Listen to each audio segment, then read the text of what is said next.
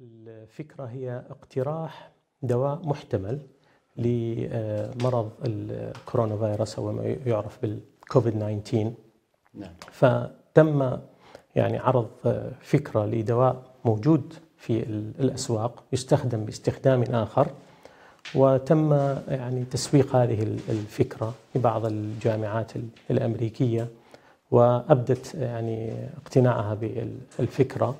وتم تشكيل فريق عمل حول الموضوع ولا زلنا في أطر يعني مناقشة الأطر الفنية في إجراء الدراسات المطلوبة ونسأل الله التوفيق يعني لا زلنا في بداية الطريق. نعم هل هناك سقف زمني لظهور النتائج مثلا بشكل جيد؟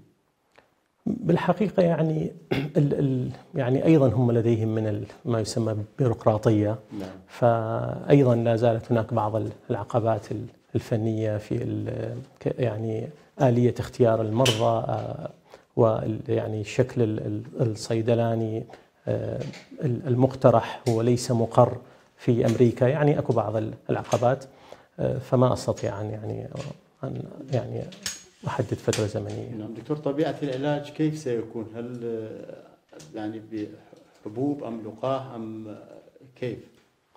يعني على الأغلب عن طريق الاستنشاق عبر الفم أو الأنف.